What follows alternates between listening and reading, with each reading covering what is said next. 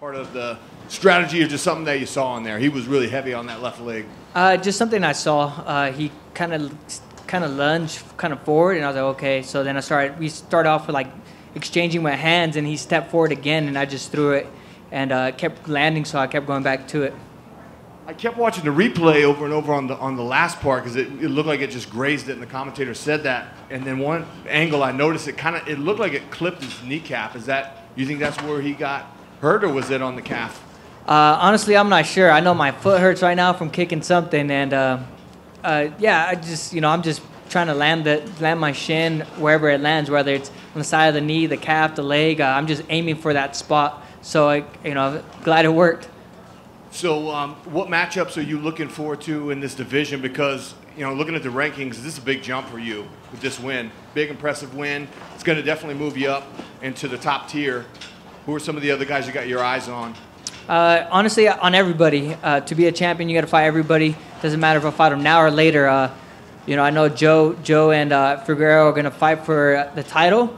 Uh, I'm gonna I'm gonna go to Fight Island and hopefully be the replacement. I, if I have to, I'll go out there, might fly myself out. Um, I feel I'm next to Line Moreno. Uh, got a split decision win over Flamingo. Uh, Pantoja's booked, so I mean that would just leave me. Uh, so I'm gonna be there, be on weight, and you know, hope, like hopefully they fight. If not, I'll step in. Doesn't matter which one. Nice. And uh, in your opinion, who takes that fight in the rematch? Uh, I feel that uh, Figueiredo will. Uh, he has too much power, and his jiu-jitsu is a lot better than, when, than what he showed when he fought Jussier. Uh, I mean, I thought the first time that was going to be the only chance Joe had, and he surprised me with that armbar. Uh, who knows? It might have been a fluke or not, but I, I just think Deiveson Figueiredo hits a lot harder. I think if Joe can take it to later rounds, uh, you know, and land punches and kicks and stuff like that, he might be able to pull it off. But uh, Figueiredo has that one punch knockout. Alex, right here. Uh, this is the second week in a row where a fighter has finished someone with low kicks. Is, is this something that we should expect a lot more? Like, why is this being utilized a lot more now? Um, I, I think MMA goes through trends. Uh, you know, I mean, it's just one of those things. For a while, it was like the ground and pound. Now it's all stand up. Now it's you know, for a while it's body shots. Now it's leg kicks. I think it's just a trend that everybody goes through. Um, you know, just glad I picked it up. And then in, in your uh, post fight interview, we couldn't really hear it back here, but it sounded like you were naming names of people that are no longer with us. Is that uh, yeah, uh, so my, my good friend and training partner Desmond Torres, his dad passed away. Uh, he ended up going home like right on time. Uh, the next couple weeks, he, his dad passed away from a heart attack.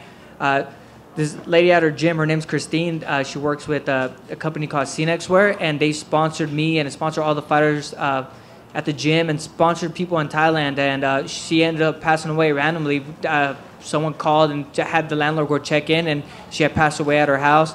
And then one of my good friends uh, uh owns a MMA promotion. They had a sponsor. He they sponsored me. His name's Mario. And uh, his wife was killed in a tragic accident, um, just crazy freak accident, you know. Um, and it's just crazy how 2020's ended up. You know, it's kind of like up and down roller coaster, and uh, you know, it just sucks. I, I'm hoping my victory brings a little you know, happiness at least for the moment, or lets them forget about what's going on. Is it hard to focus when all that's like you're what's going on with you and what's going on in the outside world right now? Uh, I do a good job. Once I'm in the gym, I clock in. Uh, I can't think about anything else when I'm in the gym because I got killers after me. Uh, guys you guys will know, like Desmond Torres. Um, I got guys like Chito Vera pushing me every day. So if I'm off one day, I'm going to get killed in that gym. You know, I got Louis Smolka, Carla, all those guys in there, Robert Hernandez. Um, Junior. I got all these guys in there trying to kill me, and you know, so I, every time I clock into the gym, I kind of leave all my personal life issues outside and kind of just clock in and do do my thing. And once I'm done, I kind of get back onto it, kind of think about what I have to think about.